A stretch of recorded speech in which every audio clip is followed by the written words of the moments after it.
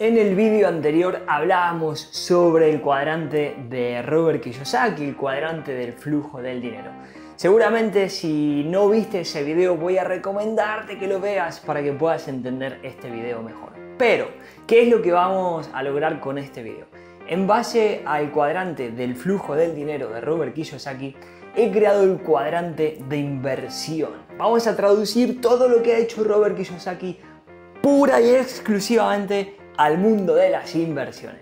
Y vamos a ver todo lo que se necesita para ser un inversor de éxito. Así que si estás preparado, vamos a comenzar.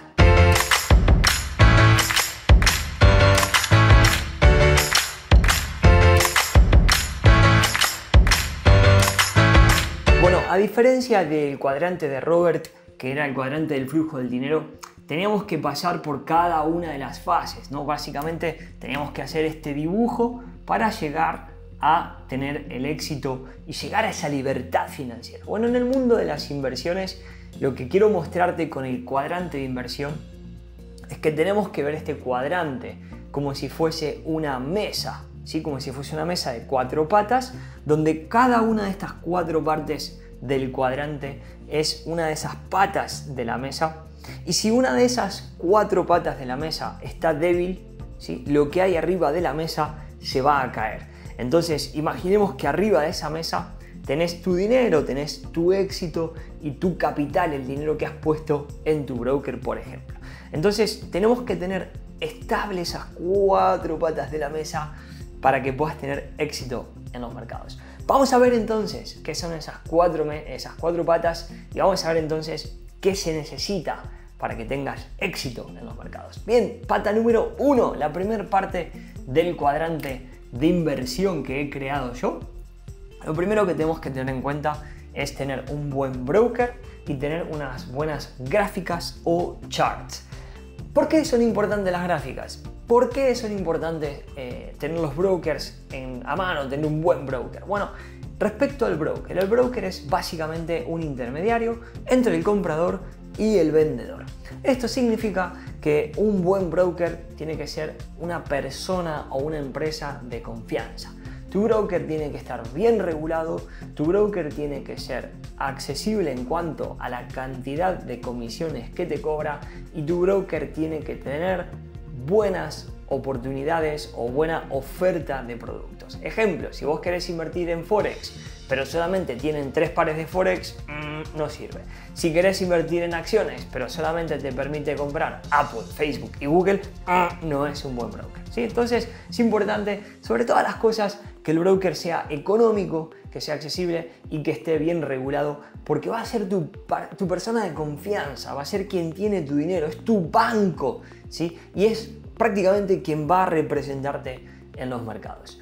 ¿Por qué es importante tener unas buenas gráficas, por ejemplo? Porque vamos a analizar las gráficas y vamos a tomar decisiones basándonos en los charts, basándonos en las velas japonesas y en el análisis técnico a través de las ondas de Elliot, de Fibonacci, etc. Entonces necesitamos estar cómodos, porque nuestras gráficas van a ser nuestra herramienta, si es como nuestro vehículo. Si tengo que hacer un viaje de 600 kilómetros, pues lo mejor es tener un auto, un coche confortable, donde me sienta realmente cómodo y pueda llegar a destino de la mejor manera. Entonces, las gráficas y el broker es la primer parte que tenemos que tener sólidas en nuestra mesa. La segunda pata, la parte número 2 para tener éxito en los mercados es la estrategia. ¿sí? Si no tenés una estrategia, tenés que parar de invertir o directamente no arrancar a invertir. ¿sí? Una estrategia significa que tenés que tener un stop loss, un punto de entrada y una toma de ganancias. ¿sí? Un lugar donde entrar al mercado, donde salir en pérdida y donde salir en ganancia. Y para lograr eso, te voy a tener preparado este 100T. Ahora te voy a hablar de lo que es este 100T, pero es una sorpresa que tengo guardada que seguramente te va a encantar. ¿ok? Bien, entonces una estrategia es fundamental porque una estrategia no, no, va a hacerte ganar dinero todo el tiempo. No esperes que una estrategia funcione el 100% de las veces, pero sí que funcione en el 70 o el 80% de las veces. ¿Qué quiere decir esto? Que vas a invertir y 7 u 8 de cada 10 veces vas a ganar y dos o tres veces de cada diez vas a perder. Eso es natural, eso es normal. ¿sí? Recordad que este es el video número 2 de una serie de 5 videos que estoy preparando para que aprendas a invertir y para que aprendas a ser dueño de tu propio negocio. Así que como en el video anterior, lo único que voy a pedirte para lanzar ese tercer video es que le des un me gusta al tutorial, que le des un me gusta, acá un dedito para arriba y voy a lanzar el tercer tutorial en muy muy poco tiempo. ¿sí? Así que darle aquí al dedito y si estás aprendiendo, pues recomendarte que te suscribas a mi canal por dos razones. Una, porque voy a seguir subiendo material de altísima calidad para que de verdad puedas lograr tus objetivos, puedas aprender a ser empresario e inversor, algo que seguramente estás buscando. Y además porque le vas a permitir a YouTube que te avise cuando estoy dando las sesiones en vivo. Todas las semanas, todas las semanas puedes hablar conmigo en vivo y en directo y preguntarme lo que quieras. Y eso lo puedes conseguir suscribiéndote y dándole a la campanita. Nuestro tercer factor súper importante en el cuadrante de inversión es que tengas un buen gerenciamiento del dinero. ¿sí? ¿Dónde es que las personas fallan con respecto al gerenciamiento del dinero? Hay dos cosas, hay dos puntos fundamentales donde las personas fallan. El mayor, el más común que veo es que las personas no saben cuánto dinero invertir. Ejemplo, si vos vas a invertir en una cuenta de mil dólares, por poner un número redondo, no puedes estar arriesgando 200 o 300 o 500 dólares en una operación. Si El gerenciamiento de riesgo dice que deberías estar arriesgando el 1, el 2, máximo el 3% de tu operación. ¿Qué quiere decir? Que si vos tenés una cuenta de 1000 dólares, lo máximo que deberías perder son 10, 20 o 30 dólares por operativa. Si ves que tenés 3, 4, 5 operaciones en pérdida y ya perdiste un 12, un 14 o un 15% de tu capital, entonces tenés que parar de invertir, tenés que dejar de invertir. Lo segundo, que es donde mucha gente comete el error, es que no sabe qué objetivo quiere lograr respecto a las inversiones.